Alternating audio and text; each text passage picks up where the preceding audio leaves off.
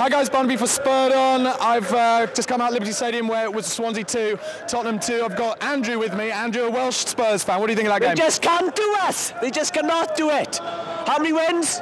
Nine. How many draws? One. Ten games, no losses. Hey, Rick! Son, son, son. And did you any anything that you thought of the game that you could share with us? What did you make of it? We were better than them. That's all it is. We were definitely better than them. They had a bit, of the ball, but what? Two chances. They scored two goals. We had six, seven chances.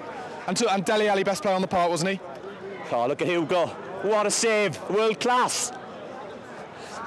There you go. It's Hugo, not Dele Alli or Eric Dier. Let us know if you agree with what Andrew had to say in the comment section below. Don't forget to subscribe to the channel on YouTube. Get on Follow us on Twitter, at on TV. Cheers, Andrew. Thanks, mate.